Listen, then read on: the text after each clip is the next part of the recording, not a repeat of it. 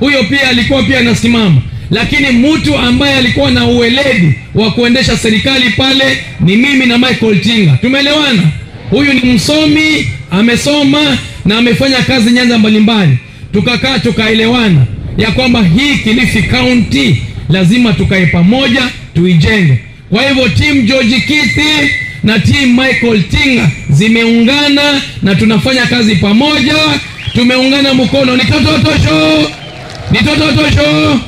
Huyu Michael Tinga si mnamwona, ni mulume, si mulume yuno.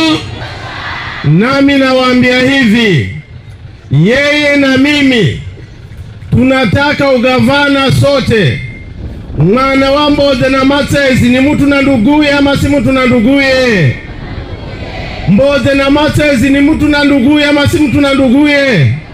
Sababu ya kwanza, ajenda ya kiti kuwa gavana wa Kilifi, jambo la kwanza ni kwamba anasema elimu ya bure kwa watoto wetu wa Kilifi. Tuko pamoja? Hiyo ndiyo ajenda yake na mimi hiyo ndiyo ajenda yangu. Kwa sababu hiyo, watu wawili sisi tukishikana, tutafanya kazi vizuri ama tutafanya vibaya? Sasa mimi ninawaambia, sababu ingine ya kuwa tuliungana mkono ni kwamba gavana wa Kilifi atakuwa mmoja, wala hawatakuwa wawili ama watatu. Ni kweli ama ni urongo?